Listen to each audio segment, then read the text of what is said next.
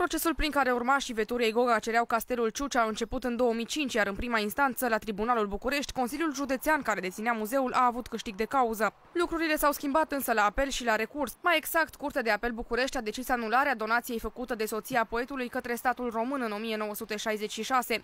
În această situație, clădirile care au fost transformate în complexul muzeal Octavian Goga vor reveni strănepoților de frate ai Veturiei Goga, cu obligația ca aceștia să păstreze destinația actuală a castelului pentru următorii ani.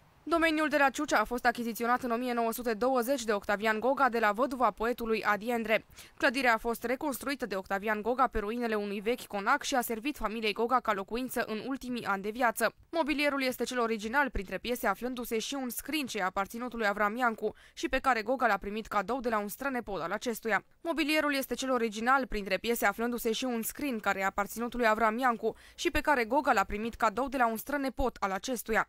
Poetul a locuit la Ciucea până la moartea sa în 1938.